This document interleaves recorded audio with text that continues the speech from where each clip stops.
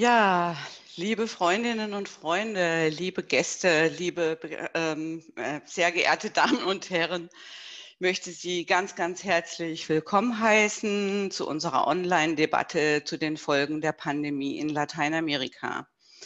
Das ist der Auftakt zu einer neuen Online-Reihe der Heinrich-Böll-Stiftung. Mit Böll global wollen wir künftig noch mehr als bisher und zusätzlich zu unserem gesamten Online-Angebot und Printangebot Ihnen aktuell Informationen liefern, Perspektiven liefern, Einsichten bieten, wie die Pandemie in den Regionen, in denen die Heinrich-Böll-Stiftung arbeitet, eigentlich ankommt. Wie geht es den Menschen in den Regionen, äh, die unter dieser Pandemie, den ökonomischen Folgen der Maßnahmen, den politischen Folgen der Maßnahmen mehr und mehr äh, zu leiden beginnen? Die Heinrich-Böll-Stiftung ist selbst ein großes globales Netzwerk mit über 30 Büros äh, weltweit. Und wir glauben, dass wir einiges zu bieten haben, auch zusätzlich zu dem, was in der deutschen Berichterstattung über die anderen Länder dieser Welt, die sehr hart von dieser Pandemie betroffen sind, ähm, wie es äh, anderen Ländern, den Menschen in anderen Ländern eigentlich geht. Die Pandemie ist mit voller Wucht in Lateinamerika angekommen. Die Fall- und Todeszahlen explodieren in vielen Ländern Lateinamerikas und Brasilien entwickelt sich mehr und mehr zum Pandemie-Hotspot der Welt. Von Brasilien bekommen wir noch relativ viel mit in unseren Medien. Die Berichterstattung konzentriert sich eben doch sehr stark auch auf die Rolle Bolsonaros im Handling dieser Pandemie. Wie aber sieht es in Kolumbien aus, in Mexiko, in Zentralamerika? Ähm, das ist eine Frage, mit der wir uns zumindest an drei Beispielen heute Abend beschäftigen wollen.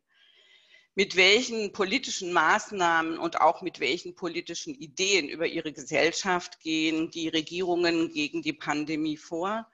Wie sehen die sozialen, die ökonomischen, die ökologischen Folgen der Pandemie aus?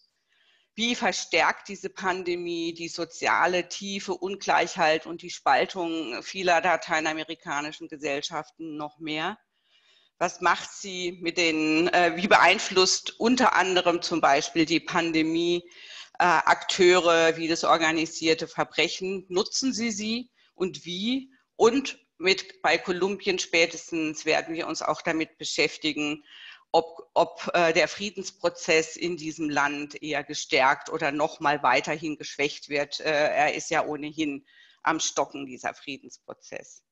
Und wir wollen natürlich auch von meinen Kolleginnen und Kollegen in den Büros wissen, wie wehren sich die Menschen? Was tut sich auch Positives? Wie organisieren sich die Menschen selber? Wie viel Solidarität, wie viel Zusammenhalt gibt es? Wächst diese Solidarität oder gibt es mehr jeder gegen jeden, äh, rette sich wer kann? Zumindest ansatzweise wollen wir heute verstehen, welche äh, Auswirkungen die Pandemie in einigen ausgewählten Ländern hat. Und ich diskutiere die gerade von mir aufgeworfenen vielen Fragen äh, mit Annette von Schönfeld. Sie ist die Büroleitung in Rio de Janeiro Hallo Annette, einen schönen guten Abend an dich in Rio. Es ist, glaube ich, morgens um elf oder später oder früher? Mittags um zwei. Super, ah, okay. Äh, dann möchte ich herzlich willkommen heißen Florian Huber. Er ist unser Büroleiter im Büro Bogota. Dir auch Hallo und ähm, wir werden gleich auch von dir hören, wie es in Kolumbien eigentlich äh, mit der Pandemie zugeht und wie die Folgen sind. Ich äh, möchte dann ganz herzlich willkommen heißen David Bartelt. Er ist unser Büroleiter in Mexico City. Herzlich willkommen an euch drei. Äh, wie ich schon sagte, ist es bei euch noch morgen. Ich hoffe, ihr seid frisch und munter und gut gerüstet für diese äh, Debatte zu den Folgen der Pandemie in Lateinamerika. Technisch unterstützt werden wir bei dieser Online-Debatte von Martin Sommer. Hallo Martin, grüße dich. Danke für deine Unterstützung. All diese Online-Formate brauchen technischen Support, den leistest du uns prima. Wenn Sie technische Probleme haben, dann melden Sie sich bitte im Chat äh, bei Martin Sommer. Vielleicht kann er Ihnen helfen und die Zugänge zu einer hoffentlich spannenden Debatte äh, ermöglichen. Für unseren Austausch mit Ihnen, liebe Zuschauerinnen, bitten wir Sie, sich ausschließlich mit der Funktion Question and Answers QA äh, Fragen und Antworten äh, zu bedienen. Ihre Fragen und Kommentare werden von Lara Wutke meiner Mitarbeiterin gesichtet und gebündelt und die Fragen dann von, von Ihnen an uns und unsere Gäste weitergeleitet. Kommentare können Sie ja untereinander auch im Chat lesen und ähm, damit auch mitbekommen, was andere über unsere Themen heute Abend denken. Aber bitte haben Sie Verständnis dafür, dass wir ausschließlich Fragen weiterleiten an meine drei Gäste. Letzter Satz. Wir sprechen heute über drei sehr unterschiedliche Länder. Das Lateinamerika, das gibt es nun mal nicht, sondern sehr unterschiedliche Länder mit sehr unterschiedlichen politischen Systemen, mit unterschiedlichen politischen und sozialen äh, Wirklichkeiten. Die Länder sind auch unterschiedlich in den Weltmarkt integriert und sehr unterschiedlich auch von den weltwirtschaftlichen Folgen der Pandemie betroffen. Sie sind also verschieden, diese Länder. Äh, und ich hoffe, dass wir dieser Unterschiedlichkeit auch wirklich Rechnung tragen können. Gleichwohl ähm, denke ich, dass wir auch strukturelle Gemeinsamkeiten herausarbeiten werden, äh, zum Beispiel im politischen Umgang, aber vor allem auch, äh, was die Betroffenen angeht. Wer ist betroffen in euren Ländern? Ich glaube, da haben wir sehr viele strukturelle Ähnlichkeiten was, wo sind die Menschen besonders vulnerabel in den jeweiligen Ökonomien, in den jeweiligen Sozialsystemen. Wir möchten jetzt zunächst äh, mit den politischen Facetten, mit den politischen Dimensionen der Krise beginnen. Und ich möchte David Bartelt, unser Büroleiter in Mexico City, fragen, wie denn die Situation in Mexiko ist. In deutschen Medien war im März und im April noch zu lesen, Mexiko ginge den schwedischen Weg. Ein Vergleich, der aus meiner Sicht sowieso hinkt, weil die politischen Systeme auch sehr unterschiedlich sind. Auf jeden Fall hat AMLO, also der Präsident äh, Obrador, stärker auf Appelle statt auf Verbote gesetzt. Äh, und er schien die Krise eher zu verharmlosen, er zeigte sich, wie auch die Bolsonaros oder die Trumps ohne Schutzmaske oder machte sich auch ein bisschen lustig über die hysterischen Menschen, die sich schützen.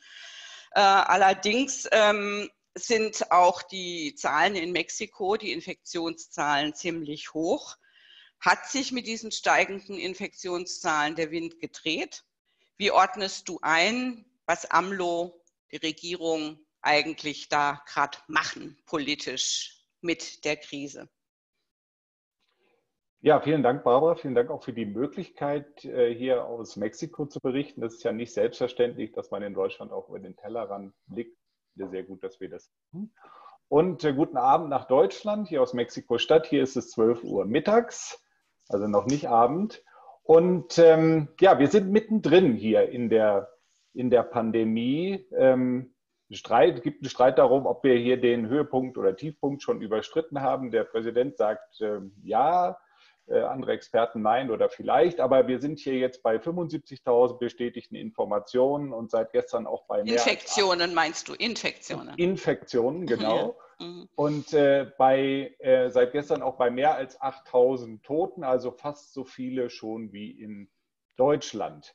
Ähm, das Gesundheitssystem hält noch stand. Es gibt in einzelnen Krankenhäusern Aufnahmestopps, aber insgesamt bezogen auf Gemeinden oder Städte ist, ist noch ähm, Kapazität da, auch für Betten mit Atemgeräten, so sagt es jedenfalls die Regierung. Allerdings, Mexiko testet so gut wie gar nicht und daher sind auch die, jedenfalls die Infektionszahlen nur ähm, sehr mit Vorsicht zu genießen.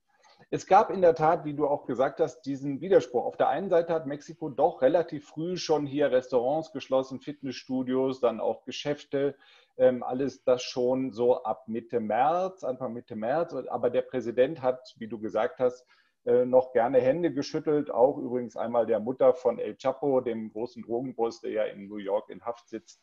Ähm, auf der anderen Seite haben sie einen hier sehr populären Staatssekretär für Gesundheitsvorsorge, der jeden Abend eine Pressekonferenz abhält und den Leuten immer wieder einhämmert, bleibt zu Hause, bleibt zu Hause. Dieses bleibt zu Hause ist freiwillig. Die Strategie hier von Mexiko ist, ähm, ja, nicht, sicherlich nicht Schweden, auch weil Mexiko eine ganz andere ökonomische Resilienz hat, eine viel geringere als Schweden, aber ähm, sie verzichten ganz bewusst und benutzen auch diesen Begriff auf die Militarisierung des öffentlichen Raumes. Also es werden hier ähm, Leute nicht angesprochen, es werden keine Ausweise äh, kontrolliert, sondern es gilt der Appell, bleibt zu Hause, bleibt zu Hause, bleibt zu Hause, weil die Regierung sehr genau weiß, und es ist ja eine Regierung, die angetreten ist mit dem Slogan, die Armen zuerst, weil die Regierung sehr genau weiß, ich habe offiziell hier in Mexiko haben wir mehr als 50 Prozent Armut. Wir haben 56 Prozent Leute, die in der informellen Wirtschaft arbeiten. Und das ist ja auch meistens eine Armutsökonomie.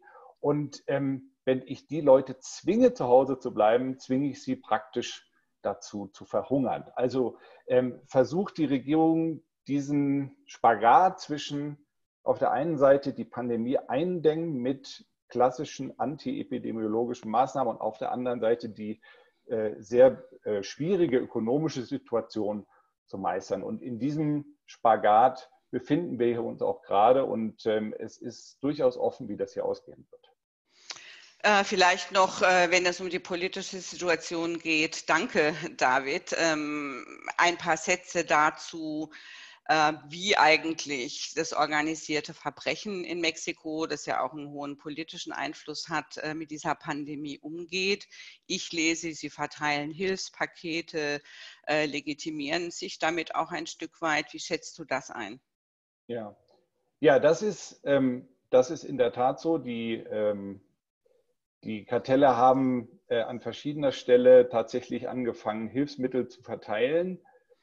Und ähm, haben damit auch nochmal demonstriert, dass eben weite Teile des Staatsgebiets in der Tat in der ähm, Kontrolle des, ähm, des organisierten Verbrechens hier ist.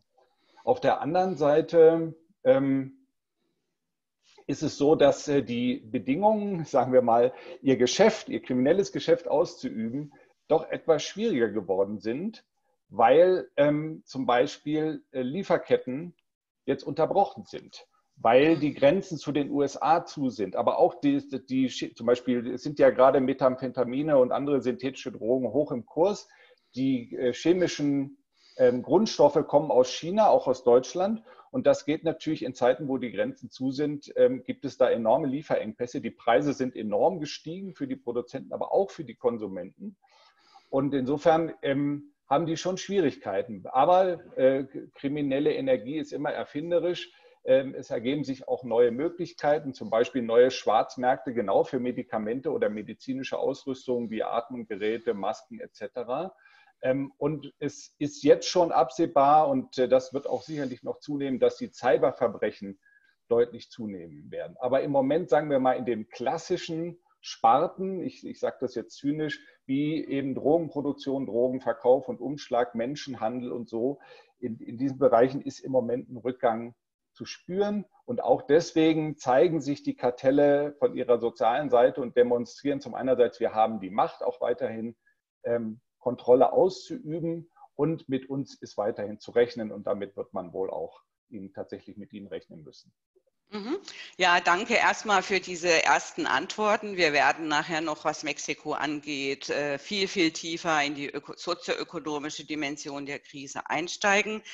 Äh, Annette, Annette von Schönfeld, unsere Büroleiterin im Büro Rio de Janeiro. Ich sagte es schon in meiner Anmoderation, Brasilien, davon lesen wir hier relativ viel. Ähm, die Berichterstattung ist nicht so ähm, unterentwickelt wie jetzt zu Mexiko oder Kolumbien, äh, wo wir gleich dazu kommen. Äh, hier wird natürlich berichtet, wie unverantwortlich Bolsonaro mit der Krise umgeht auch heute wieder neue Bilder, wie er sich unverdrossen mit vielen Menschen ohne Schutzmaske zeigt. Äh, Bürgermeister wehren sich, äh, was diese Politik von Bolsonaro, diese Leichtfertigkeit angeht. Versuch du uns bitte bei der Komplexität und Vielfalt der Thematik den aktuellen Stand zu schildern und vor allem auch, wie eigentlich bei den hohen Infektionszahlen die Gesundheitssituation für die Menschen aussieht. Ja, herzliche Grüße auch aus Rio de Janeiro in die Runde. Vielen Dank fürs Zuhören und Zusehen. Äh, ich finde das eine tolle Gelegenheit, dass wir jetzt hier aus unseren Ländern auch in diesem Format berichten können. Also vielen Dank dafür. Ähm, hier die Situation in Brasilien ist tatsächlich nicht einfach. Heute werden wir, was die Zahl der Infizierten angeht, die 400.000er Marke überschreiten und die äh, Marke der 25.000 Toten. Das sind also unglaubliche Zahlen, äh, mit denen man auch nicht mehr wirklich klarkommt. Also das macht mit allen von uns etwas. Und im unmittelbaren Umfeld gibt es eigentlich keine Person mehr, die nicht über, die nicht über mehr als eine Ecke äh, Personen kennt, die infiziert sind äh, und zum Teil schwer krank. Ähm, das Gesundheitssystem hier in Brasilien ist ich würde sagen, mal sagen, an all den Hotspots, also besonders betroffen sind São Paulo, äh, Rio de Janeiro, ist der Nordosten des Landes, sicherlich auch, weil das eine der Touristenhauptregionen ist und Amazonien eben auch leider. Da ist das Gesundheitssystem äh, schon zu weit über 90 Prozent ausgelastet. Es geht dabei vor allen Dingen um das öffentliche Gesundheitssystem, das Brasilien ja hat und äh, zudem auch, ich würde, zu dem jeder Zugang hat und auf das etwa 75 Prozent der Bevölkerung angewiesen sind. Ähm, Brasilien ist auch kein armes Land, das heißt, äh, es werden, wenn das, wenn das Gesundheitssystem ausgelastet ist, werden Lösungen gefunden, hier noch ein Feldkrankenhaus aufzubauen oder da noch wieder äh, Beatmungsgeräte irgendwo hinzustellen. Aber das kommt nicht mehr wirklich nach.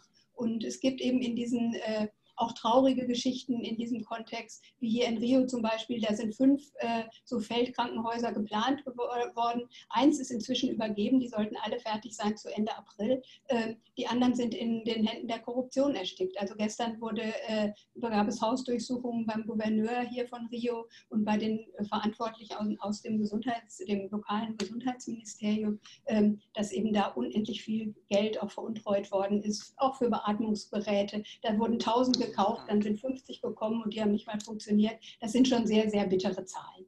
Ähm, in einem Bundesstaat wie Amazonien äh, stehen für den Bundesstaat, das sind 14 Millionen Personen auf einem Gelände oder in einem Territorium, was vier, mehr als viermal so groß ist wie Deutschland, 69 Betten für intensivmedizinische Betreuung zur Verfügung und die alle in Manaus, also in der Landeshauptstadt. Das sind schon äh, extreme Zustände. Hier in den großen Städten São Paulo und Rio ist natürlich der private äh, Gesundheitssektor sehr, sehr gut ausgestattet. Das heißt, äh, im Zweifelsfall werden dann auch Betten ausgeliehen, Plätze ausgeliehen oder aber kostenpflichtig natürlich. Also das Ganze wird für das Gesundheitssystem schon sehr äh, schwierig werden. Ähm, Bolsonaro, das hast du schon gesagt, ähm, lehnt oder wiegelt diese Krise nach wie vor ab. Ähm, er will eigentlich, dass sie nicht existiert. Er sagt, die Wirtschaft muss laufen, wir können keine Isolationsmaßnahmen hier durchführen. Ähm, sterben müssen alle Menschen. Er ist ja auch extremst empathielos, äh, sagt sowas wie, das ist bedauerlich, dass es jetzt hier 5.000, 10.000 Menschen gibt, äh, die, die gestorben sind, aber was soll ich daran ändern? Also ich heiße zwar Messias, aber ich kann auch nichts tun. Also das, das ist so der Umgang und das macht natürlich in der Gesellschaft auch viel.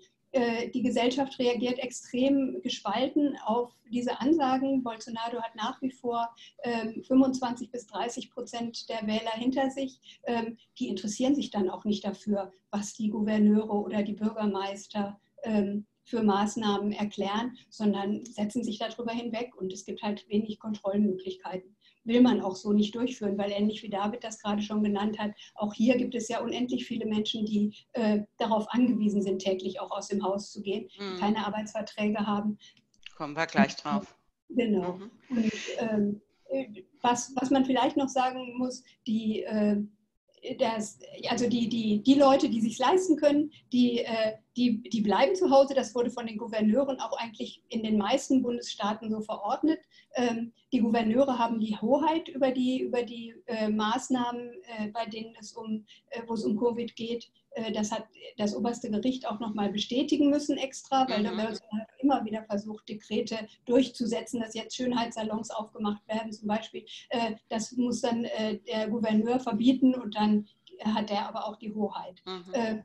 Gleichzeitig ist ja dieses, der riesige Politikskandal, wir haben wirklich das Gefühl, hier in einer Telenovella auch äh, unterwegs zu sein. Wir sind jetzt beim dritten Gesundheitsminister, der genau. äh, der Militär auch ist. Der erste ist gegangen, weil er zu beliebt oder gegangen worden, weil er zu beliebt war und äh, Bolsonaro Konkurrenz gemacht hat. Und der hat sich konsequent an die WHO äh, Empfehlungen gehalten. Der zweite ist gegangen, ist selbst gegangen, weil man ihn zwingen wollte, dieses Malaria-Mittel auf die mhm. Empfehlungs Behandlungsliste zu setzen. Da hat er sich geweigert. Da hat die WHO ja auch inzwischen vorgewarnt. Ähm, das ist aber inzwischen von dem, diesem Militär, also dem dritten Gesundheitsminister, jetzt auch auf diese Liste gesetzt worden. Der Justizminister ist auch zurückgetreten in einem ganz anderen Skandal. Da geht es um die, äh, um, um die Prozesse, die hier in Rio de Janeiro gegen die äh, Söhne von Bolsonaro laufen und man wirft äh, Bolsonaro vor, dass er Einfluss nehmen will auf das Agieren der Polizei. Aus diesem Grund ist der Justizminister dann zurückgetreten. Es läuft also eben da ein Straf äh, der Oberstaatsanwalt, Bundesanwalt äh, muss jetzt in den nächsten Tagen entscheiden, ob er einen Straf Verfahren gegen Bolsonaro einleitet. Es gibt inzwischen 30 Anträge oder über 30 auf Amtsenthebungsverfahren, äh, die beim Parlamentspräsidenten liegen. Ähm, die haben, der, der setzt die nicht auf die Tagesordnung, nicht zuletzt, weil er wirklich nicht weiß, ob die durchkommen. Bolsonaro ist schwer aktiv, der, äh, der macht das, was er nie gemacht hat, mit dem Austritt von Moro ist einfach diese, ähm, diese Korruptionsgeschichte von der Agenda. Er kauft jetzt Politiker ein, ähm, um, um eben eine Zweidrittelmehrheit für so ein Amtsenthebungsverfahren zu, äh, zu unmöglich zu machen. Dabei für den Augenblick? Ja, ähm, ich glaube, wir könnten über jedes Land, gerade auch was die politische Situation angeht, äh, natürlich wirklich äh, in, weiter noch in die Tiefe gehen. Das tun wir ja auch an anderen Orten. Wir können jetzt Flashlights setzen äh, und ähm, ja auch versuchen, ein paar Erklärungen zu machen. Ähm, zu Brasilien werden wir ja auch noch mal darüber sprechen, wie wehren sich eigentlich die Menschen bei einem solchen Politikversagen, was du ja eigentlich beschreibst. Und trotzdem ist die Gefolgschaft zu hoch für Bolsonaro nach wie vor zwischen 20 und 30 Prozent. Wäre natürlich zu beurteilen, ob das noch reicht für ihn auch in den nächsten Wahlen. Aber das kannst du ja vielleicht dann im nächsten Schritt bei den sozioökologischen und sozioökonomischen Fragen äh, noch mal einbringen. Dann gehen wir weiter nach Kolumbien, ein Land, von dem wir hier nicht viel hören. Das war in Deutschland ein Land, äh, wo ja auch sehr viel Hoffnung äh, immer mit verbunden war, dass der Friedensprozess ähm, mehr Prosperität und weniger Gewalt ins Land bringt. Kolumbien ähm, hat eine sehr konsequente und anhaltende Ausgangssperre schon sehr früh verhängt. Ähm, wir werden später natürlich auch, was Kolumbien angeht, auf die massiven sozialen Folgen, auf den Hunger in Kolumbien äh, eingehen. Von dir, Florian, möchte ich jetzt erstens gerne wissen, wie der Präsident Duque äh, mit dieser Pandemie umgeht. Äh, kriegt er auch aus der Opposition im Parlament Protest? Und vor allem möchten wir von dir wissen, wie beeinflusst, beeinflusst äh, die Pandemie eigentlich den Friedensprozess? Er stockt ja ohnehin, war teilweise aufgesetzt, äh, ausgesetzt. Ich höre, äh, dass auch wieder ähm, die, die Krise, die sozioökonomische Krise genutzt wird, um ähm, Menschen für die, für die Paramilitärs oder äh, für die FLN oder für die Wiederauferstehung der FARC rekrutiert werden. Äh, in dem ganzen Bogen schilder uns doch einfach mal, was es politisch bedeutet. Ja, vielen Dank. Pandemie. Vielen Dank, äh, Barbara. Ähm, wir hatten hier in Kolumbien den ersten bestätigten Fall am 6. März, wo es den ersten Fall wahrscheinlich schon Ende Februar gab. Das heißt, wir sind seit drei Monaten hier auch mit der Pandemie beschäftigt. Wir haben mit, äh, bisher 23.000 Infektionen im Land, so eine relativ geringe Zahl im Vergleich zu, zu anderen Ländern wie Brasilien, Peru, Chile, Mexiko, Ecuador. Ungefähr 800 Tote, äh, zehnmal weniger noch als in, in, äh, in Mexiko. Ähm, es wurden bisher 250.000 Tests gemacht. Das Gesundheitssystem äh, verfügt ungefähr über 6000 Betten auf Intensivstationen, davon 3500 Betten für Patienten. Äh, das klingt vielleicht auf, die, äh, gut, es sind mehr als 90 Prozent der Infizierten äh, werden zu Hause, sind zu Hause, ungefähr 5 Prozent in Krankenhäusern, 2 Prozent auf Intensivstationen. Das klingt vielleicht noch nicht äh, nach so viel. Trotzdem ist auch in Kolumbien die Situation etwas fragil. In Bogotá zum Beispiel ist die Auslastung in den letzten Wochen auf 40 Prozent gestiegen, äh, also der Auslastung der in den, auf den Intensiv, Intensivstationen. Und es zeigen sich auch die großen Unterschiede zwischen den Regionen. Ähm, was hat Duke gemacht? Duke hat, glaube ich, aus regionaler Sicht sehr schnell gehandelt. Fünf Tage nach dem ersten Fall hat er angeordnet, dass Reisende aus äh, Risikoländern wie China, Spanien, Italien, Frankreich 14 Tage, wenn sie ins Land reisen, erstmal in Quarantäne müssen. Zwei Wochen nach dem ersten Fall wurde eine obligatorische präventive Quarantäne angeordnet, in der wir uns immer noch befinden, nach, nach neun Wochen. Sie wurde zwar dann nach und nach etwas gelockert, geöffnet, aber äh, die Regierung hat relativ schnell Maßnahmen ergriffen. Gleichzeitig hat sie auch Unterstützungsmaßnahmen für die Bevölkerung, Unternehmen angekündigt. Da können wir vielleicht darüber ja. später noch ein bisschen mhm. sprechen. Und es sind dann in den letzten Wochen seit Ausbruch der Pandemie die Zustimmungswerte des Präsidenten von 25 Prozent ungefähr auf knapp 60 Prozent gestiegen. Wow. Ähm, also Duque hat, glaube ich, auch äh, durch sein Profil als eher ein Technokrat ein bisschen auch die Pandemie genutzt, ähm, wieder seine Zustimmungswerte zu erhöhen. Er ist jeden Tag eine Stunde im Fernsehen, erklärt die Maßnahmen. Äh, was bedeutet es auf der anderen Seite aber für den Friedensprozess? Also ich glaube, man kann vielleicht ein bisschen salopp äh, sagen, der Friedensprozess, das Friedensabkommen ist momentan ein politischer Nebenkriegsschauplatz. Die politischen Diskussionen konzentrieren sich auf die Pandemie. Was aber trotzdem eigentlich auch erschreckend ist, wenn man die Gewaltzahlen im Land äh, sieht, ähm, was auch in der internationalen Presse kam in den letzten Wochen. Seit Jahresbeginn sind mehr als 100 soziale Anführerinnen und Aktivistinnen getötet worden. Das ist ein großer Anstieg auch gegenüber dem, dem, nächst, äh, dem letzten Jahr. Es ist natürlich ein großes Risiko, ob die regionalen Entwicklungspläne für die Umsetzung des Friedensabkommens so weitergeführt werden können, wie sie geplant waren. Ich glaube, die es war die Umsetzung des Friedensprozesses nicht das große politische, äh, äh, der Hauptzweck der, der neuen Regierung. Äh, mhm. Viele Institutionen, wie das Sonderstrafgericht, kann auch seit sechs, sieben Wochen nicht arbeiten. Also da ist auch das Gericht geschlossen. Mhm. Ähm, und es gibt auch im Land, glaube ich, weiterhin einen Diskurs der, der Polarisierung. Also ich möchte nur zwei Beispiele nennen. Es gab umstrittene Äußerungen der aktuellen Innenministerin, die dann auch sagte, es würden in Kolumbien bei äh, Handy-Raub äh, oder Raubüberfällen mehr äh, Personen sterben als, als Menschenrechtsaktivisten. Und es wurde kürzlich auch äh, der Sohn eines ehemaligen paramilitärischen Kommandanten zum Koordinator im Innenministerium für die, für die Opferrechte eingesetzt. Also es zeigt doch auch immer wieder, wie auch die Regierungspartei, glaube ich, gegen, den, gegen das Friedensabkommen immer wieder politisch stichelt, auch immer wieder sagt, vielleicht müsste man das doch wieder reformieren, auch wenn es keine Mehrheiten im Kongress gibt. Ähm, also auch das Thema Umsetzung des Friedensprozesses bleibt weiterhin eine große Herausforderung. Mhm.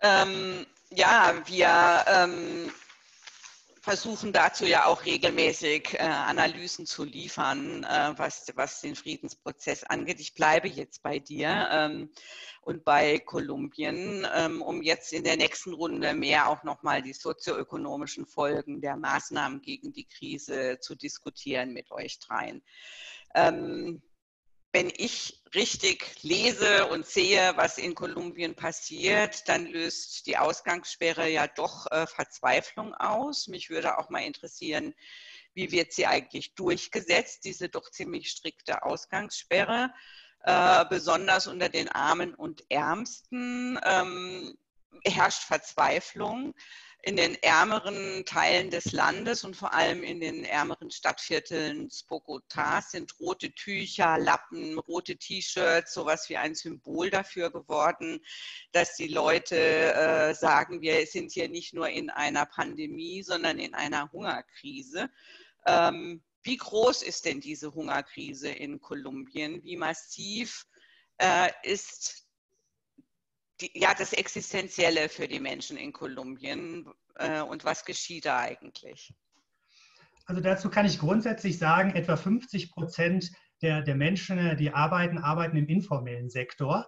Äh, ich kann es auch einem Beispiel von Bogota ein bisschen veranschaulichen. Bogota hat ungefähr äh, über sieben Millionen Einwohner, ungefähr 500.000 Familien, also 350.000 arme Familien, 150.000 von Armut betroffene Familien müssen auch durch, durch staatliche Hilfsmaßnahmen oder werden durch staatliche Hilfsmaßnahmen äh, unterstützt. Das sind ungefähr zwei Millionen Menschen. Das ist ähm, fast ein, ein Viertel der, der Bevölkerung in, in Bogotá. Äh, sie werden teilweise mit Geldzahlungen unterstützt, mit Essensgutscheinen, mit Essenslieferungen. Das war eine große logistische Herausforderung in den ersten Wochen. Auch die neue Bürgermeisterin, die seit 1. Januar jetzt im Amt ist, Claudia Lopez, die sagte, sie ist eigentlich letztes Jahr gewählt worden, eigentlich für eine andere Stadt. Also sie musste dann auch gucken, wie sie in den ersten Monaten ihren, ihren Entwicklungsplan äh, anpasst. Und was auch noch eine große Sorge ist, auch viele, viele Kinder, äh, die normalerweise in der, in der Schule das Essen bekommen, haben, stehen vor der Herausforderung, dass die Schulen auch seit März geschlossen sind. Also es ist eine große Herausforderung für die Stadt, für die Menschen. Ähm, viele Menschen haben auch die Sorge vor dem Verlust äh, des Arbeitsplatzes. Ähm, also die Stadtverwaltung in Bogotá zum Beispiel versucht natürlich, diese Herausforderung zu meistern, aber es ist äh, weiterhin eine, eine Mammutaufgabe. Und wie, was weißt du darüber, was in anderen Kursen, Städten, Medellin oder auf dem Land in den Provinzen geschieht? Ist da auch damit zu rechnen, dass äh, Menschen wirklich äh, Hunger haben? Also auch in den anderen Städten wie Medellin, Barranquilla, Cali versucht die nationale Regierung auch mit der Lokalregierung zusammenzuarbeiten, Hilfsprogramme äh, aufzusetzen. Ähm, es ist in der, in der Presse jetzt noch gleich nicht so stark über, über, konkrete, äh, über den konkreten Hunger berichtet worden. Ähm, in vielen Regionen sind auch die Leute im Prinzip auf sich selbst auf sich selbst gestellt. Also da äh, spielt auch die Familie eine große Rolle. Die Familienangehörigen schauen, wie sie sich, sich gegenseitig unterstützen, weil eben die staatlichen Hilfsprogramme zwar laufen, aber es ist dann auch oft, glaube ich, nur ein, ein Tropfen auf dem heißen Stein. Okay, äh, Lara, die die äh, Question and Answer sammelt, gibt mir gerade ein Signal, dass es Fragen an dich gibt, die jetzt ganz gut passen würden. Dann sollen die bitte gestellt werden. Lara, bitteschön. Genau, gerne. Wir haben ein paar Fragen. Äh, Sie werden alle gesehen, sind nicht vergessen, aber zwei, die jetzt ganz gut passen für dich, Florian ähm, weil es um die Lage in Kolumbien ganz konkret geht. Nämlich einmal die Frage, ob durch Covid-19 die Ausbreitung es weniger militärische Auseinandersetzungen zwischen zum Beispiel der ELN und der Regierung gibt. Mhm. Und die zweite ist ähm, die Frage, hier in Deutschland wurde berichtet, dass die Flughäfen geöffnet geblieben sind ähm, dass Duque zum Beispiel äh, Millionen äh, Gelder aus dem Friedensprozess äh, umgeleitet und benutzt hat, um eine Werbungskampagne zu finanzieren, um sein eigenes Image zu verbessern. Ähm, wurde, ist das so? Wurde das in Kolumbien anders okay. berichtet? Mhm. Ja, Super, danke schön. Äh, kann ich gerne gern auf die drei Fragen kurz eingehen. Die ELN hatte zu Beginn der, der Pandemie noch verkündet, einen Waffenstillstand verkündet, der mittlerweile wieder aufgehoben worden ist. Also es gibt äh, militärische Auseinandersetzungen in den Regionen, wo die ELN aktiv ist. Es ist vor allem so an der Grenze zu Panama, an der Grenze zu Venezuela, an der Grenze zu Ecuador, also in, in, der, in der Peripherie. Äh, die, die Flüge wurden relativ schnell geschlossen. Ähm, die wurden, ähm, glaube ich, drei, drei Wochen nach Ausbruch der Pandemie wurden nationale, internationale Flüge geschlossen. Äh, alle Flüge sind weiterhin auch, äh, also finden nicht statt. Internationale Flüge werden voraussichtlich erst wieder ab September stattfinden und nationale Flüge äh, eventuell im Juli. Zumindest bis Ende Juni gibt es auch weiterhin keine nationalen Flüge. Äh, das war, glaube ich, auch ein bisschen die, die, die, Schockmeldungen aus, aus Spanien, aus Italien, wo, aus den Ländern, aus denen der, der Virus eingeschleppt wurde, da möglichst rasch, äh, rasch irgendwie die Türen zu schließen.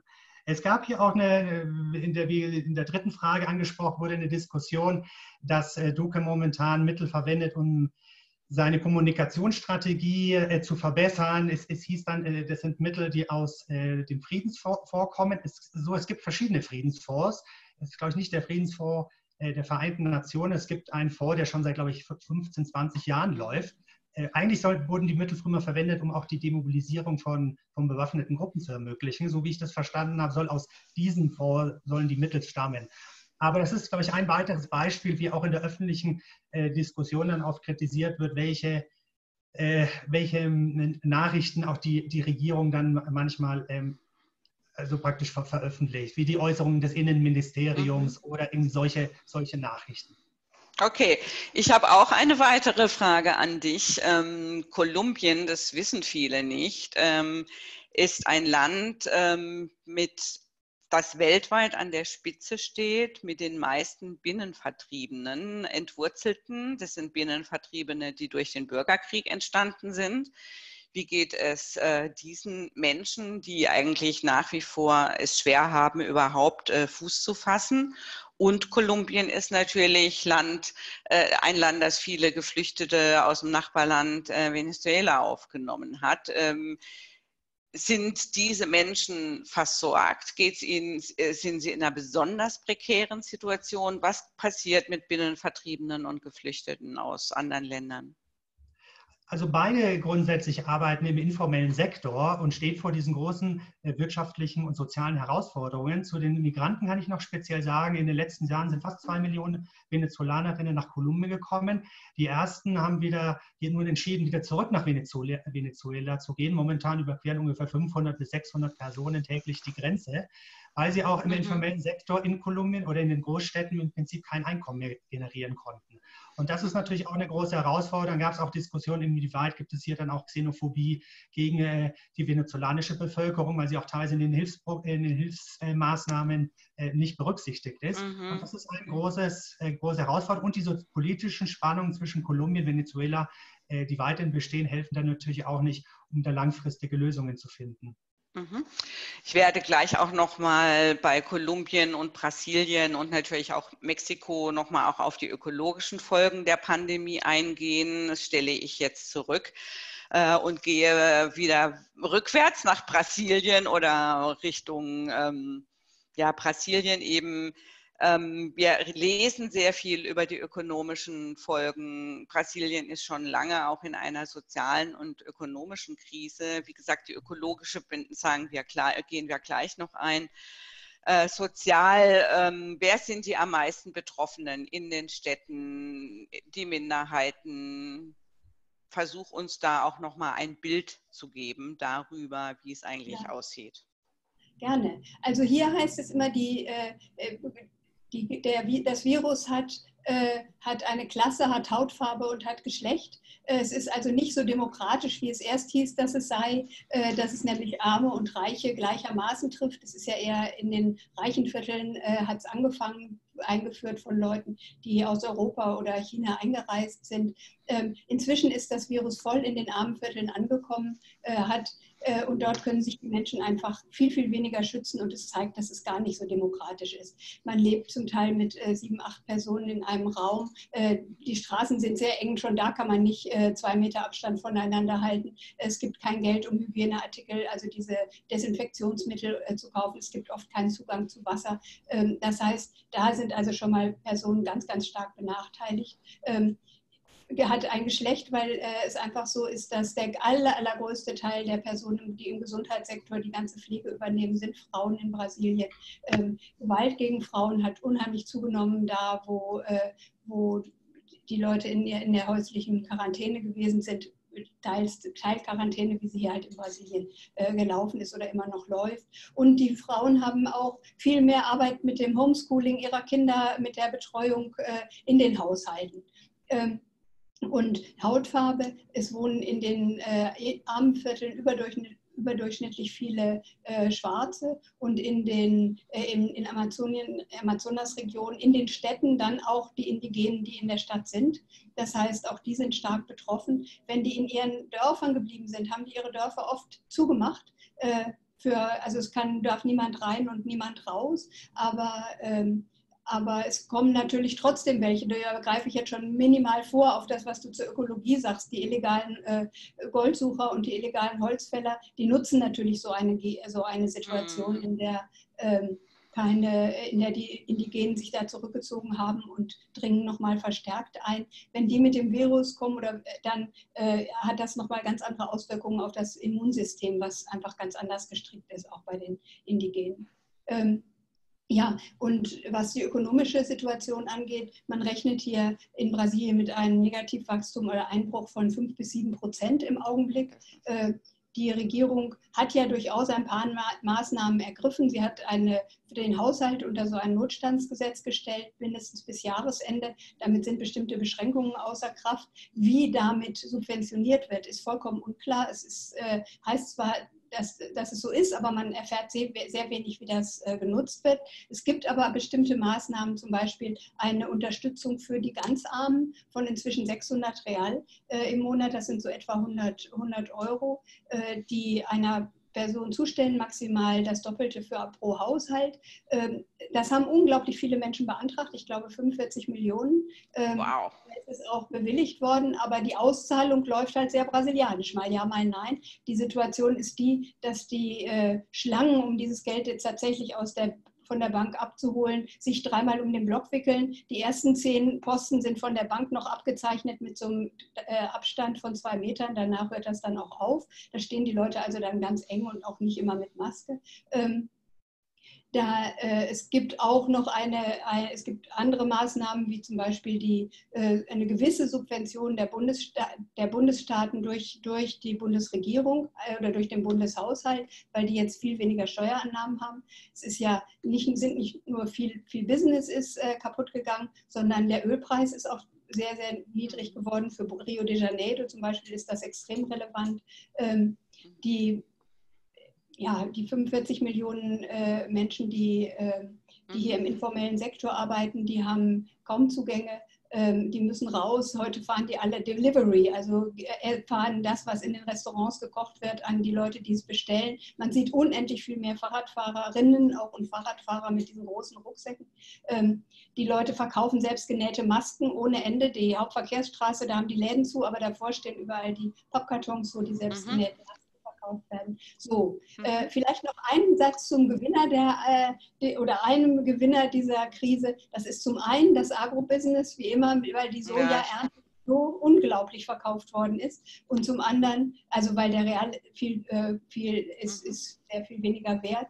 Und dann gehören aber auch die ganzen Kleinbauern dazu, die sich auf Agroökologie konzentriert haben, weil die. Leute in den Städten jetzt Bio-Kisten äh, kaufen wie noch nie und sie zum Teil ihre ah. jetzt verfünffachen konnten. Das wollte ich jetzt einfach auch mal einmal. Ja, ja, wir kommen auf jeden Fall auch noch auf, äh, wo gibt es den einen oder anderen positiven Effekt. Ich wollte dir aber auch tatsächlich noch mal eine Frage stellen ähm, zum Brasilien hat ja seine Wirtschaft sehr stark auch äh, auf Exportorientierung umgestellt. Ähm, du hast es jetzt gerade schon gesagt, Soja verkauft sich bestens. Ähm, wie, wie steht es um die anderen Sektoren? Also die sind doch schon auch vulnerabel, weil eben auch die Nachfrage auf den Weltmärkten äh, ja durchaus zusammenbricht äh, durch die Pandemie. Wo gibt es ja. da besondere wo ist dieses extraktivistische Modell auf Rohstoffexport zu setzen vulnerabel, ähm, jenseits jetzt von, man macht mit Soja noch ganz gute Einkommen? Das ist vulnerabel bei der der äh, Ölpreis ist, äh, ist ja in den Keller gegangen, das hatte ich gerade schon gesagt. Eisenerz, äh, was massiv nach China exportiert mhm. wird, ist, äh, da ist die Nachfrage stark zurückgegangen. Ich habe aber bisher wenig gehört von, äh, also von einem Aufschrei, äh, was jetzt Staatshilfen. ja, wollte ich gerade fragen. Jetzt Staatshilfen mhm. beantragen. Und die, die Regierung sagt im Moment so ein bisschen mantraartig, äh, nachdem die Krise hier vorbei ist, werden unsere Wirtschaftsreformen das Land retten. Ja, es gibt ja eine nicht, noch nicht so lange verabschiedete Arbeitsrechtsreform, noch vor Bolsonaro, kurz vor, vor, vor Amtsantritt von Bolsonaro, eine, ähm, eine Rentenreform, die jetzt äh, verabschiedet worden ist und es ist eine Steuerreform in der Mache. Darüber äh, verspricht sich die Regierung bisher also den Ausstieg wieder aus der Krise. Ja, spannend, danke. Ähm, soweit. Wir kommen gleich nochmal auch aus äh, die ökologischen Folgen zu sprechen. Ich kündige das schon an. David, jetzt bist, hast du lange gewartet, jetzt bist du wieder mit Mexiko an der Reihe. Mexiko ist die zweitgrößte Volkswirtschaft Lateinamerikas, OECD-Land, sehr, sehr abhängig, äh, zumindest im formellen Sektor, von der US-Ökonomie. Die US-Ökonomie äh, ist tief im, im, in einer Rezession. Ähm, was bedeutet das äh, für die mexikanische Wirtschaft? Welche Sektoren sind betroffen? Äh, und gleichzeitig ist ja in Brasilien, wie in, in, wie in Brasilien, wie in Peru oder in Kolumbien die Mehrheit der Bevölkerung sehr wohl auch in, in äh, Mexiko im informellen Sektor beschäftigt. Ähm, wie geht es diesen Bevölkerungsgruppen, die sowohl massiv Jobs verlieren im formellen Sektor und diejenigen, die dann wiederum äh, im informellen Sektor keine Einkommen mehr haben? Also erstmal die Frage nach der Vulnerabilität durch die US-Ökonomie und ja. Danke. Also ähm, ja, danke für die Fragen. Es gibt ja dieses, dieses Sprichwort, wenn die USA husten, dann kriegt Mexiko eine Lungenentzündung. Die, das die passt ja ist, zu Covid. die, genau, die, die Wirtschaft ist auf Gedeih und Verderb mit der US-amerikanischen Wirtschaft äh, verbunden. Und ähm, der geht es ja nun alles andere als gut. Insofern ist also allein schon von daher auch die mexikanische Wirtschaft erheblich betroffen. Die, die äh, UN-Wirtschaftskommission für Lateinamerika hat geschätzt, dass die Wirtschaft hier um etwa 5 Prozent ähm, schrumpfen würde. Das ist meiner Meinung nach und auch nach der Meinung vieler äh, ähm, anderer Experten viel zu niedrig angesetzt. Also hier die Schätzungen gehen hier zwischen 8 und 14 Prozent Schrumpfung. Die Folgen werden werden erheblich sein. Es sind jetzt schon ähm, äh, ungefähr eine Million Jobs verloren gegangen. Ne, Mexiko mit 126 Millionen bevölkerungsreiches Land. Äh, aber das ist dennoch eine enorm hohe Zahl. Ähm, und betroffen sind alle Sektoren. Ähm, man kann sehen, wo die Wirtschaft, ähm, wo die Regierung versucht anzusetzen. Sie haben gerade jetzt vor wenigen Tagen die Bauwirtschaft, den Bergbau und die Automobilindustrie wieder zu systemnotwendigen Produktionsbereichen erklärt und damit wieder zugelassen. Mhm. Das zeigt schon, wo auch besonders die Krise, die Wirtschaft insgesamt erheblich betroffen wird. Die Automobilwirtschaft ist äh, für die mexikanische Wirtschaft absolut grundlegend. Und hier äh, sollen die nun wieder produzieren dürfen, äh, wobei der ähm, aus deutscher Sicht gesehen, die, der Bundesstaat Puebla, wo die meisten deutschen Automobilhersteller sitzen, da hat der Gouverneur gesagt, nein, ähm, wir bleiben zu, die Fabriken bleiben geschlossen. Ich habe, äh, vielleicht nehmen wir das auch mal als Beispiel, wie gehen die Unternehmen damit um? Ich habe mal bei der Botschaft nachgefragt und äh, die haben gesagt, also die großen deutschen Firmen hier in Mexiko haben, äh, und das gilt sicherlich für die meisten anderen auch, was sie gemacht haben, ist erstmal alle Beschäftigten gezwungen, ihren Jahresurlaub zu nehmen. Dann haben sie danach ihnen einen Monat das Gehalt weitergezahlt. Und wenn das vorbei ist, dann war es auch mit Geldzahlungen vorbei oder ist es mit Geldzahlungen vorbei. Also die Beschäftigten behalten ihre Stelle, haben aber keinerlei Einkommen mehr. Kleinere Unternehmen haben auch entlassen, es sagt eine Million, aber ähm, die größeren Unternehmen versuchen das noch zu vermeiden die Regierung und der Präsident allen voran sagt, wir müssen dieses Problem mit Bordmitteln lösen. Wir werden uns nicht verschulden. Er, er, verweist dabei ganz explizit auf die Rolle des Internationalen Währungsfonds in der Vergangenheit, aber auch jetzt verhandelt ja etwa Argentinien gerade wieder mit dem Internationalen Währungsfonds und gesagt, das, was das bedeutet an sozialen Verwerfungen, wenn man Kredite aufnimmt in diesem internationalen System und äh, dadurch die Auslandsverschuldung so erhöht, das wollen wir hier anders machen. Wir sind antineoliberal und wir kriegen das auch hin. Es gibt ähm, Kredite für vor allen Dingen für kleinere und mittlere Unternehmen und zwar sowohl für die formellen wie die informellen, ganz explizit. Das sind Kredite von etwa 1000 Euro. Ähm, insgesamt zwei Millionen Kredite sind ausgelobt. Das heißt, das sind zwei Milliarden insgesamt, die Leute dann ähm, nach drei Monaten Karenzzeit dann über drei Jahre zurückzahlen können. Aber zwei Milliarden, wenn wir das in Deutschland hören, dann wissen wir nicht, ob wir wachen oder äh, lachen oder weinen sollen. Ne? Das ist mhm. gemessen an dem, was wir allein in Deutschland ausgeben, unsere Regierung ausgibt für Hilfsmaßnahmen, natürlich sehr, sehr gering.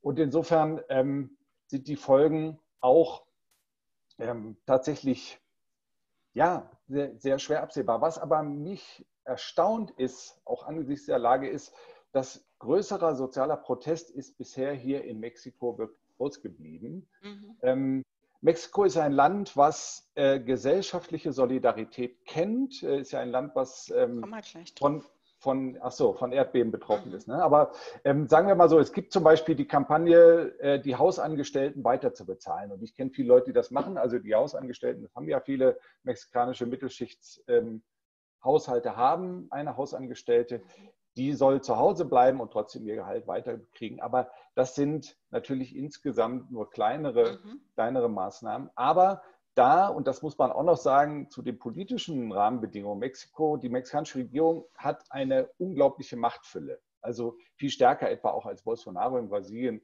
oder auch als Duque in Kolumbien. Ähm, Opposition hat schon vor der Krise praktisch nicht stattgefunden und in Zeiten, wo es um nationalen Schulterschluss geht, ist ja auch die Stellung einer Regierung traditionell immer stärker. Das heißt, von daher ist die Regierung überhaupt nicht in Frage gestellt und auch die, sagen wir mal, außerparlamentarische Opposition, eben der Druck von der Straße, fehlt bisher, sodass bisher die Regierung jedenfalls ähm, relativ frei entscheiden kann, was sie tun will. Ja, ähm, ich kann euch stundenlang zuhören. Ich freue mich, dass ähm, ganz offensichtlich ganz viele Fragen an euch gestellt werden. Ich möchte unbedingt äh, dann, auch wenn wir online diskutieren, äh, mit unseren Zuschauerinnen eine Debatte haben. Ähm, Lara, du schreibst mir, dass es sehr viele Fragen auch gibt äh, zu Folgen der Pandemie für Frauen in euren jeweiligen Gesellschaften, Pandemie und die Folgen für Indigene. Gibt es weitere? Also die habt ihr jetzt schon mal gehört, ihr drei, ne? diese, diese Fragen vor allem auch nochmal an die besonders äh, auch äh, betroffenen Gruppen. Ähm, von der Pandemie. Du bist ja schon drauf eingegangen, Annette, auch ein Stück weit, was die Pandemie für Frauen und Pflegende und Pflegeberufe bedeutet. Ähm, Lara, hast du weitere zugespitzt jetzt Fragen zu dieser ganzen sozial, sozioökonomischen ähm, Dimension der Folgen der Krise, der Pandemie in Lateinamerika? Ja, ich werde mal versuchen, die ganz, ganz vielen Fragen, 25 Fragen haben wir, mal auf drei Bereiche runterzuschrauben. Nämlich einmal ganz konkret viele, viele Fragen noch besser zu verstehen, wie konkret ähm, Frauen und Mädchen von den Maßnahmen gegen die Pandemie betroffen sind. Also über das, ähm, was wir hier Systemrelevanz nennen, hinaus auch vor allem die Frage nach der Gewalt, ähm, wie die Situation ist, wie man das zählt, wie man das beobachtet, ähm, ob ihr alle dazu was sagen könnt. Und ganz konkret die Frage, wie mit Indigenen, mit lokalen Anführern, mit Landlosen umgegangen wird, jetzt im Zuge dieser Pandemie und den Maßnahmen. Mhm. Dann gibt es zweitens auch noch, um die Lage vor Ort ein bisschen besser zu verstehen, ähm, das Interesse daran, wie wissenschaftliche Expertise ähm, und Expertinnen öffentlich sichtbar sind und welche Rolle sie ähm, mhm. spielen in euren Gesellschaften im Moment für die Politik und die Maßnahmen.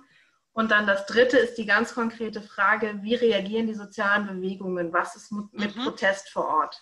Klar, äh, letzteres stand sowieso auch auf meinem Fragezettel selbstverständlich. Äh, wir wären nicht die Heinrich-Böll-Stiftung. Wir sind ja auch mit Partnerinnen unterwegs, die in diesem Kontext Protest organisieren. Ihr habt alle drei die Fragen gehört. Ich würde mit dir, Florian, beginnen ähm, und dann gehen wir einfach Annette und David wieder. Ja, ihr habt, geht einfach durch entlang äh, der gestellten Fragen. Ihr habt sie euch notiert. Ich habe das gesehen. Florian. Ja, ich versuche es ganz kurz mal. Sehr interessante Frage und zwar zur Frage der Situation ja, von Frauen. In Kolumbien kann man das mal an drei Indikatoren ein bisschen analysieren. Als die, als die Pandemie losging, stiegen sehr stark die Anrufe auf den staatlichen Hotlines zur Beratung von Frauen in Gewaltfällen. Ich glaube, an der Küste ist, sind die Zahlen um 300 Prozent gestiegen, äh, auch äh, im ganzen Land. Das zeigt, glaube ich, auch durch die Quarantäne, dass ein großes Risiko für die Frauen besteht, für Kinder bei Fällen häuslicher Gewalt. Dann gab es kürzlich eine Studie äh, des staatlichen Forensikinstituts. Da hieß es dann, die Zahl der Anzeigen in den letzten Monaten wäre irgendwie von 16.000 auf 10.000 Fälle gesunken. Das lässt sich auch nicht daraus er erklären. Es ist momentan gefährlich für Frauen, äh, zur Polizei zu gehen und eine Anzeige zu machen, wenn sie dann mit ihren mit, mit Männern oder mit den Familienangehörigen zu Hause sitzen müssen. Und ähm, was Feminizide angeht, gibt es auch eine staatliche Statistik, dass die Zahl der Feminizide gegenüber dem letzten Jahr äh, im ersten Monat der, der Quarantäne zwischen März, April gesunken wäre. Ähm, das kann man vielleicht ein bisschen dadurch äh, auch erklären, dass generell die Zahl der, der, der Tötungen in Kolumbien in, während der Quarantäne gesunken ist. Also man muss sich, äh, glaube ich, sehr mit, mit, also vorsichtig die Zahlen anschauen, weil generell äh, ist natürlich die Quarantänesituation ein, ein zusätzliches Risiko für Frauen und, und für Kinder, äh, Fällen sexueller Gewalt ausgeliefert zu sein. Auch Indigene sind in einer schwierigen Situation. In den ähm, Bundesstaaten im Amazonas zum Beispiel ist die gesundheitliche Versorgung sehr, sehr schlecht. Und zu den sozialen Bewegungen kann ich vielleicht ganz kurz sagen, es ist in Bogotá momentan auch in den Städten relativ ruhig. Ähm, die Proteste, die es Ende letzten Jahres gab, no. sind ein bisschen dadurch eingeschlafen, dass dann Weihnachten kam. Dann kamen, wie gesagt, die, We die Weihnachtsferien. Dann Januar, Februar hatte die Regierung angekündigt, sich mit den verschiedenen Sektoren zusammenzusetzen.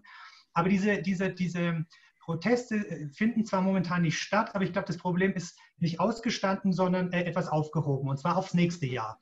Denn dann wird sich die Frage stellen, wenn mal die Quarantäne aufgehoben wird, wie äh, geht man dann wieder mit der Finanzierung um? Welche Maßnahme wird die, wird die Regierung treffen? Werden Steuern erhöht? Für wen werden die Steuern erhöht? Und ich glaube, dann wird es wieder genau die gleichen Diskussionen auch geben, die es im letzten Jahr gab. Wahrscheinlich muss sich dann der nächste Präsident mit den Fragen umschlagen, weil du gehörte, seine Amtszeit endet Mitte 2020. Nächstes Jahr wird dann der Wahlkampf schon beginnen. Also es wird dann sehr, auch sehr spannend, welche Kandidaten sich wie vor diesen neuen Herausforderungen dann positionieren und in Stellung bringen.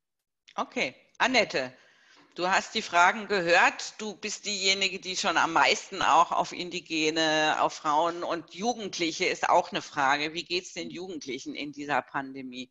Also zu dem Thema Gewalt gegen Frauen und Jugendliche äh, weiß ich jetzt nicht so viel zu sagen. Unsere, unsere Partner sind zum Teil sehr nah da dran. Es gibt tatsächlich viel mehr Fälle von Gewalt, das, das ist bekannt.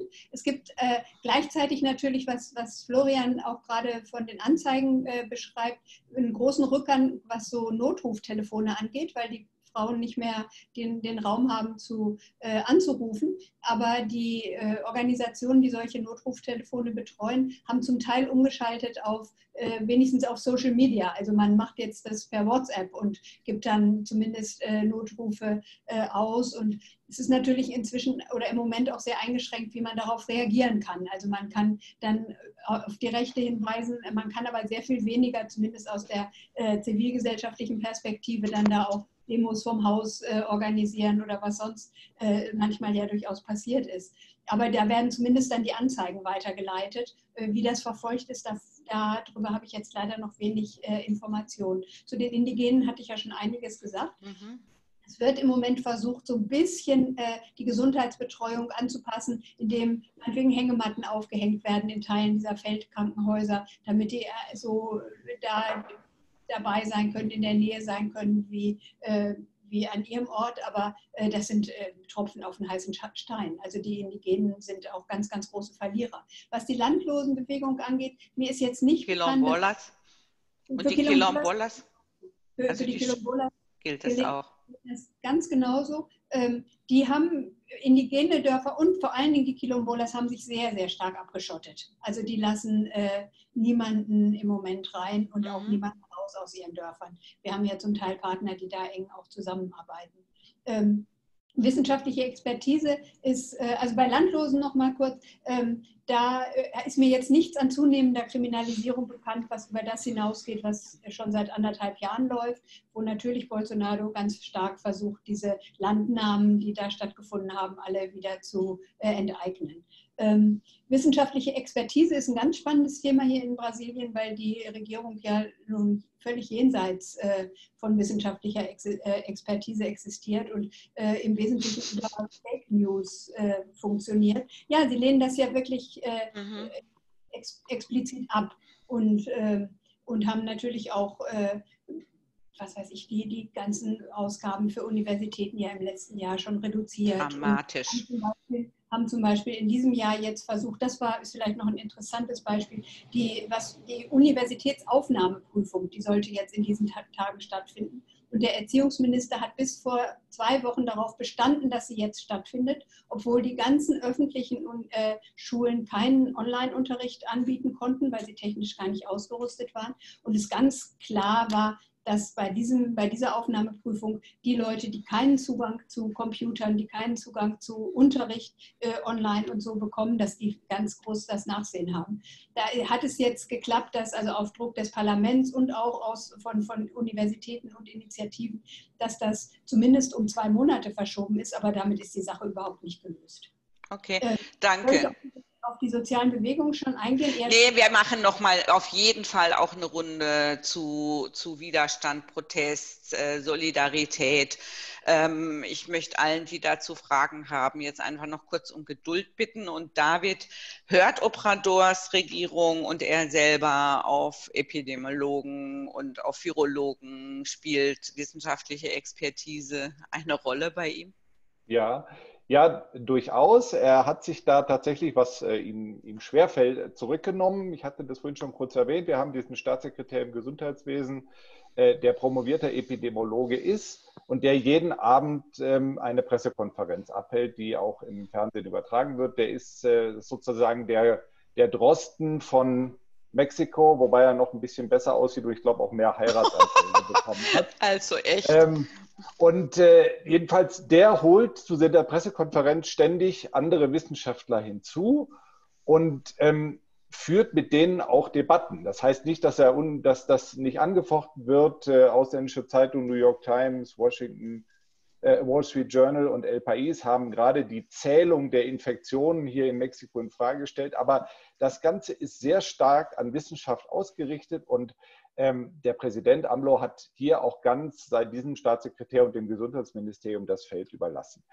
In dieser Pressekonferenz schon im März, ziemlich früh, äh, waren eingeladen vier Frauen, äh, die Direktorin vom Nationalen Fraueninstitut und andere, drei Expertinnen, die ähm, in dieser landesweit übertragenen Pressekonferenz eingegangen sind auf darauf, dass eben sehr wahrscheinlich die Gewalt gegen Frauen bei bleibt zu Hause steigen würde und auch auf die Rolle der sogenannten Care-Ökonomie, ne? Economia de Cuidado hier, also dass Frauen eben in der Regel diejenigen sind, die sich um Haushalt, um die Kinder und um die alten Menschen zu kümmern hätten und dass hier jetzt ein Neu- und ein Umdenken für die Rolle der Männer stattfinden müsste. Das fand ich bemerkenswert. Ähm, man wird, was die Gewalt gegen Frauen angeht, leider sagen müssen, ohne direkten Erfolg. Auch hier sind die Zahlen bei den Hotlines der Notrufe äh, deutlich in die Höhe gegangen. Das ist ja der eine Indikator und der andere Indikator leider hier in Mexiko ist die Frauenmorde.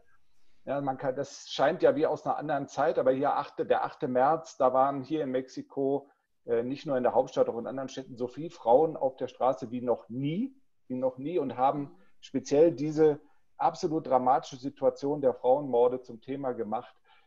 Der April war der Monat, seitdem man äh, eigentlich zählt, wo ähm, die meisten Frauen umgebracht wurden. 337 von insgesamt 3000 Morden von in einem Monat. Das ist leider Mexiko.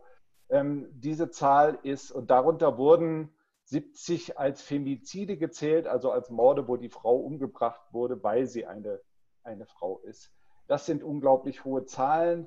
Ähm, und das ist etwas, was äh, ja, große Sorgen macht. Aber die Frauenbewegung war am 8. März auf der Straße. Im Moment gehen die sozialen Bewegungen nicht auf die Straße. Es gehen auf diesen großen Platz vor der Kathedrale, wo auch der Regierungspalast ist. Da gehen einzelne Berufsgruppen hin, Bauern oder Taxifahrer, äh, und äh, fordern den Präsidenten auf, äh, sich um sie zu kümmern. Aber das sind jeweils kleine, ähm, kleine Demonstrationen. Kurz noch was zu den Indigenen.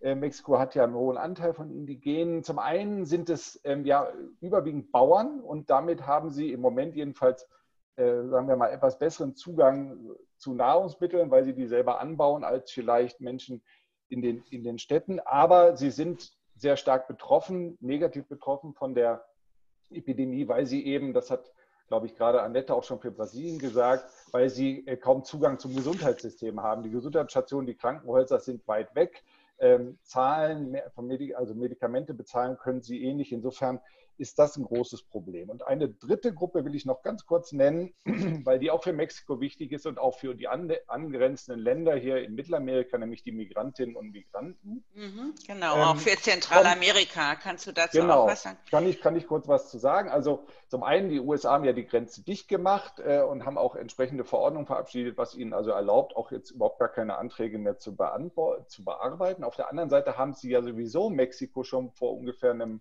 Dreivierteljahr aufgedrückt, dass die Leute, die ähm, einen Antrag stellen auf Asyl, dann wieder zurück nach Mexiko müssen, um dort zu warten, wie es ausgeht. Und in 99 Prozent der Fälle wird der Antrag ja abgelehnt. Das heißt, Mexiko hat jetzt ähm, diese ja, vor allen Dingen aus Zentralamerika kommenden Migrantinnen und Migranten bei sich und muss sich um sie kümmern. Was hier für einen ziemlichen Skandal gesorgt hatte, war, dass dann irgendwann bekannt wurde, dass in den, in den sogenannten Auffanglagern, die, dass die sich praktisch zu Gefängnissen mutierten. Äh, das heißt, die Migranten, Migrantinnen durften nicht raus, wollten raus und durften nicht. Das äh, wurde dann gerichtlich ja. verfügt, dass dem so sei.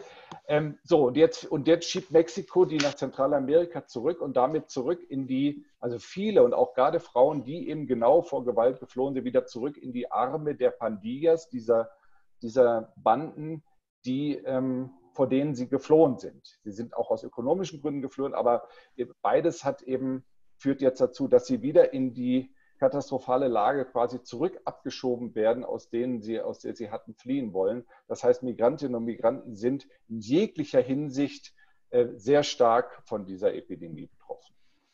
Ja, danke David, danke euch dreien. Ähm, ich würde gerne nochmal und fange da auch wieder mit Kolumbien an. Dass du auch, Florian, nochmal auf die Situation der Indigenen in Kolumbien eingehst. Das ist, glaube ich, noch ein bisschen unterbelichtet gewesen. Und gleichzeitig, also was uns ja auch alle interessiert ist, was findet eigentlich im Windschatten dieser Krise statt? Gibt es, wer nutzt was wie aus? Ähm, und in Deutschland lesen wir, äh, zumindest auch in Brasilien und Kolumbien, dass die Regierung eben auch ähm, die Dominanz der Krise, die, die, die, Dominanz der Gesundheitskrise ausnutzt, um in die Ressourcenausbeutung noch intensiver und ungehinderter einzusteigen und dass das eben auch auf dem Rücken äh, der Ökosysteme, vor allem auch des Waldes geschieht. Äh, ist das in Kolumbien der Fall oder gibt es noch andere Elemente und Phänomene, was eigentlich im Windschatten dieser Krise an Repression, an, an Bedrohung, eben auch von Protest zum Beispiel in den Regionen ähm, mundtot gemacht wird. Ja, äh, danke, Barbara. Also ich kann noch mal kurz äh, auf die Lage der Indigenen eingehen. Es kommt, glaube ich, ein bisschen auf die Regionen an. Im Norden zum Beispiel in Guajira, das ist eigentlich so die trockenste Gegend äh, des Landes. Äh, die indigene Gruppe der Wayuu leiden natürlich noch mehr als, als sonst unter der, der Pandemie. Es ist ein Riesenproblem für sie, Zugang zu Wasser ha zu haben. Und in der aktuellen Situation verschärft sich dadurch die Lage. Dann in der Amazonasregion, hatte ich glaube ich schon gesagt, ist eine Region, wo die, ähm, ähnlich wie in Mexiko oder in Brasilien, der Zugang zum Gesundheitssystem sehr prekär ist. Wenn äh, da sich der Virus ausbreitet, gibt es teilweise keine Beatmungsgeräte oder keine Intensivstationen. Ja. Und dann äh, ist noch der, der dritte Faktor, der auch eine, eine, große Gefahr ist für die Indigenen. Es ist oft so, dass in den Regionen der Indigenen gerade da die, äh, die äh, militärischen Auseinandersetzungen zwischen den bewaffneten Gruppen stattfinden ne? und auch dadurch die Indigenen zusätzlich in die Situation kommen, dass sie oft dann ihre Desguardos Indigenas aufgrund der Bedrohungssituation verlassen müssen. Ähm, zur Frage von, von Barbara, was, was passiert so ein bisschen im, im Windschatten auch von der, von der Pandemie? Ich kann vielleicht auf zwei Beispiele eingehen. In Kolumbien gibt es schon seit einigen Jahren eine sehr große Diskussion jetzt, ob, ob Fracking eingeführt werden soll. Ähm, die Pandemie macht es natürlich auch für die sozialen Bewegungen momentan sehr schwierig, Widerstand zu organisieren, weil sie sich nicht treffen können, weil sie sich nicht austauschen können. Äh, was nochmal auch ein, groß, eine große Herausforderung ist, was macht man mit den Leuten in den Regionen, die sich engagieren wollen, aber nicht Zugang zu Internet haben und auf die Weise mhm. einfach mundtot gemacht werden weil sie keine Ausdrucksformen haben. Also wir gucken zum Beispiel mit Partnern auch, wie können wir mit anderen Formaten arbeiten, wie können wir weiterhin auch die, die Organisation von diesen äh, Gruppen äh, unterstützen. Und vielleicht noch ein, ein, eine ganz aktuelle Nachricht aus letzter Woche. Ähm, in der letzten Woche gab es einen, einen Vorschlag der, der Opposition, auch die Amazonasregion zu einer Schutzregion zu erklären, in der keine äh, Erdölprojekte und so weiter durchgeführt werden können. Äh, das ist auch am Widerstand dann der, der Regierungspartei und den, den, den Parteien, die Mitglied der, des Regierungsbündnisses sind gescheitert. Also äh, es wird in den nächsten, im nächsten Jahr wieder die große Diskussion geben, wird man wieder mehr Erdöl fördern müssen, um wieder die Kassen zu füllen. Und mhm. ich glaube, das sind die großen Herausforderungen des Landes, wirklich äh, nicht so kurzfristig zu denken, sondern äh, zu überlegen, wie kann man auch die Wirtschaft umkrempeln, dass sie nicht so stark auf dem extraktiven Sektor beruht und gerade in solchen Situationen in, in, in eine immer schwierige Situation kommt. Aber da brauchen wir mittellangfristige Überlegungen, politische Diskussionen mhm. mit einer sehr aktiven, kritischen Zivilgesellschaft. Danke.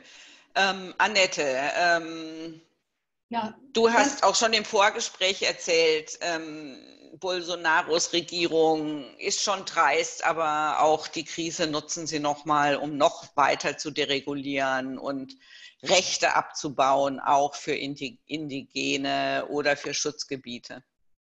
Was genau. geschieht da?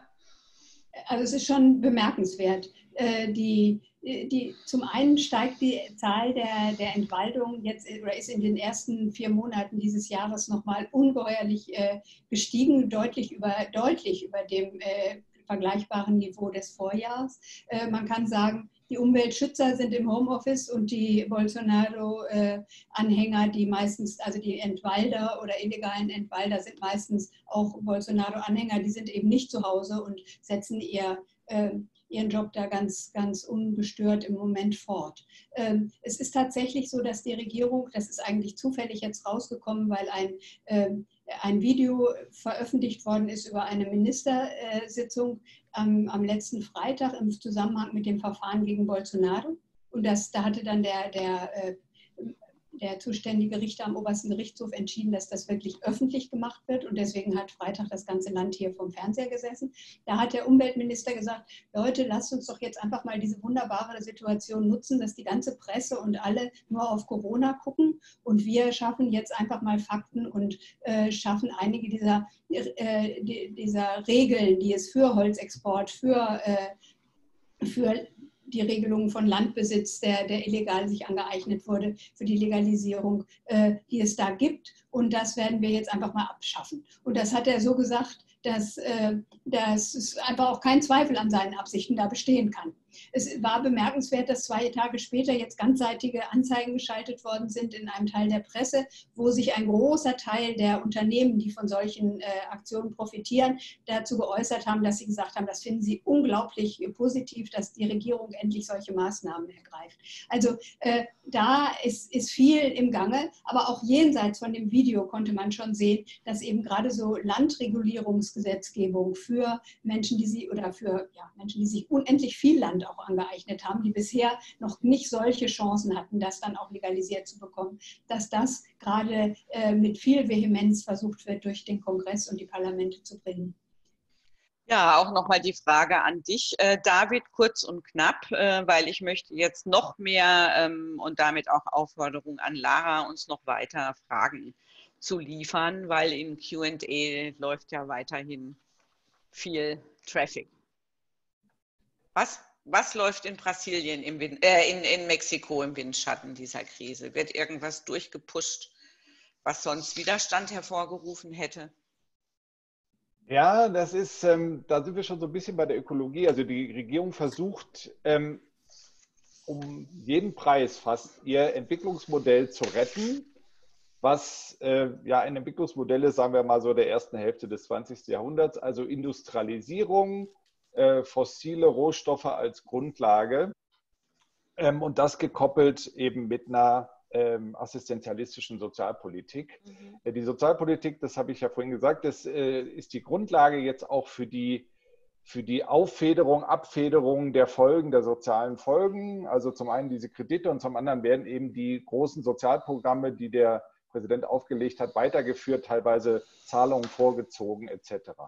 Ähm, äh, es wurde gerade letzte Woche eine Verordnung bekannt gemacht, wo nach der alle laufenden Projekte für erneuerbare Energien, also Windenergie und Sonnenenergie vor allem, gestoppt werden auf Regierungsanordnung.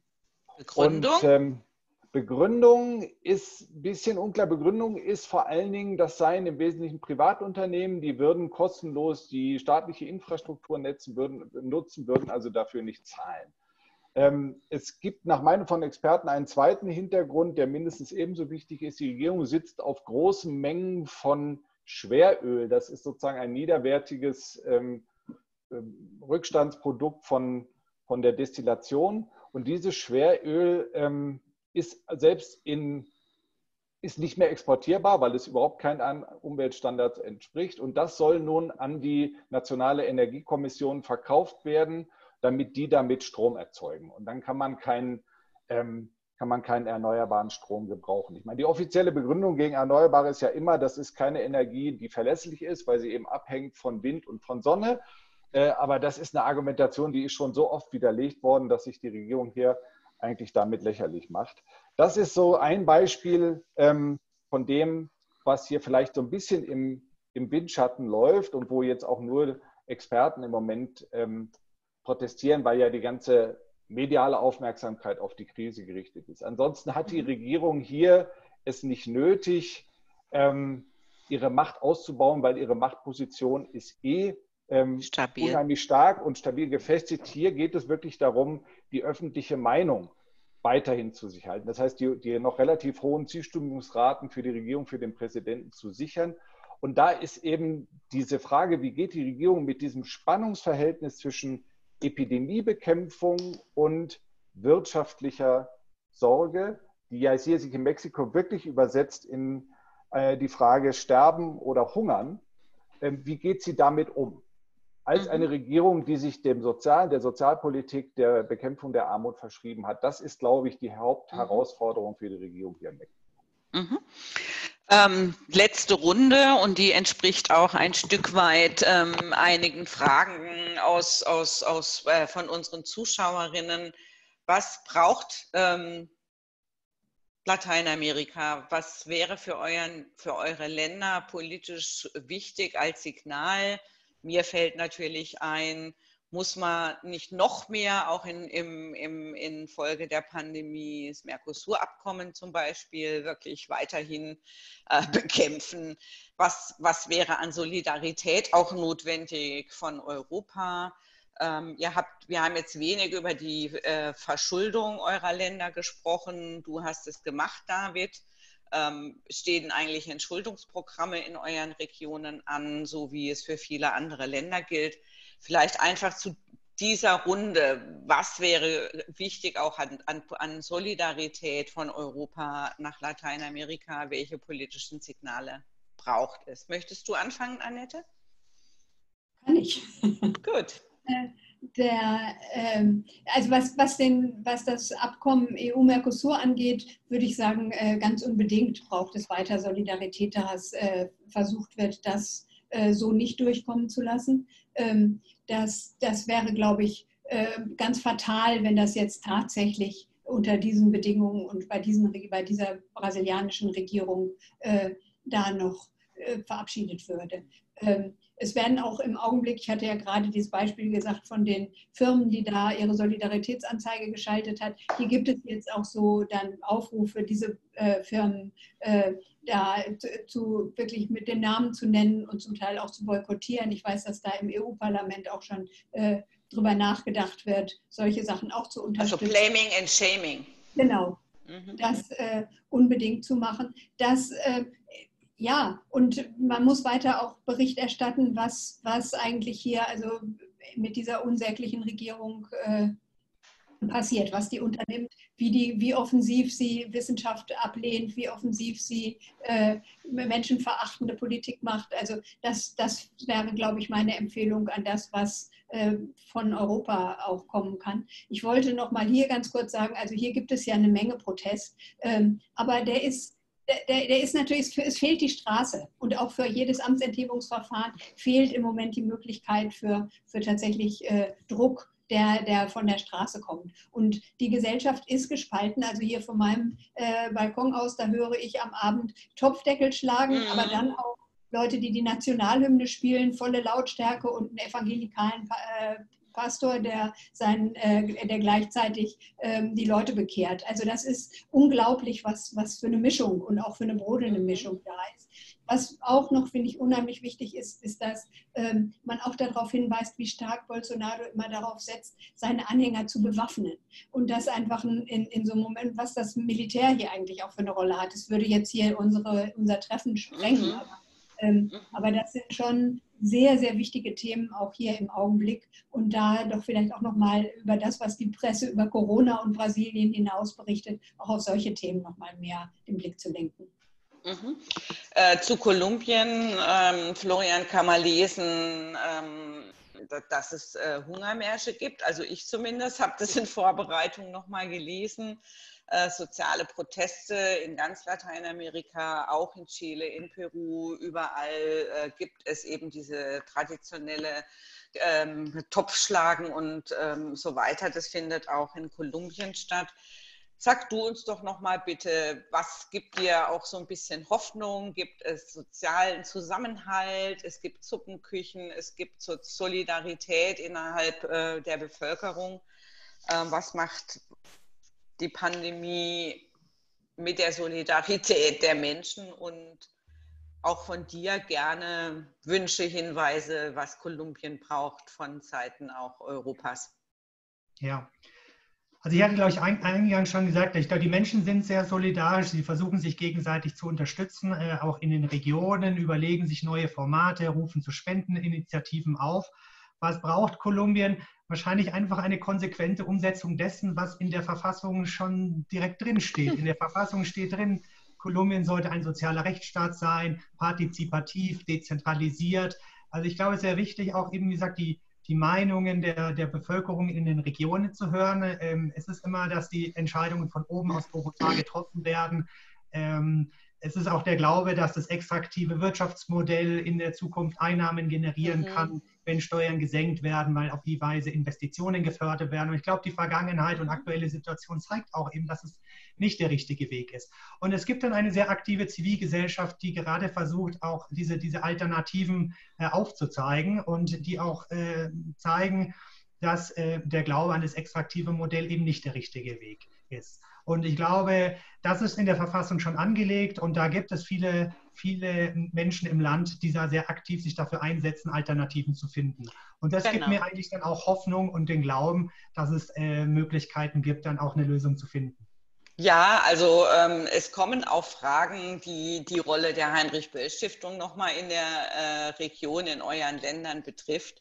Ich glaube, durch die ein oder andere Anmerkung von euch dreien ist ja klar geworden, dass wir soziale Bewegungen, äh, dass wir Menschen, die für Demokratie, Rechtsstaat, Menschenrechte stehen äh, und auch für ein anderes, ökonomische, äh, anderes ökonomisches Modell als das der Ausbeutung und des Extraktivismus. Aber vielleicht kannst du noch mal, Florian, du, David und auch Annette dann zum Schluss noch mal sagen, wo wir eigentlich äh, unsere Aktivität hinlenken. Das wäre dann die Schlussrunde. Du darfst noch mal weitermachen, Florian, zu diesem Aspekt. Was machen wir?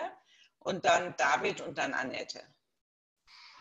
Also wir unterstützen in Kolumbien vor allem die zivilgesellschaftlichen Bewegungen auch in Regionen, also zum Beispiel Reiterallianzen wie die kolumbianische Anti-Fracking-Allianz, äh, Organisationen, die in der Vergangenheit versucht haben, durch regionale Volksentscheide Alternativen bei den Entwicklungsmodellen durchzusetzen.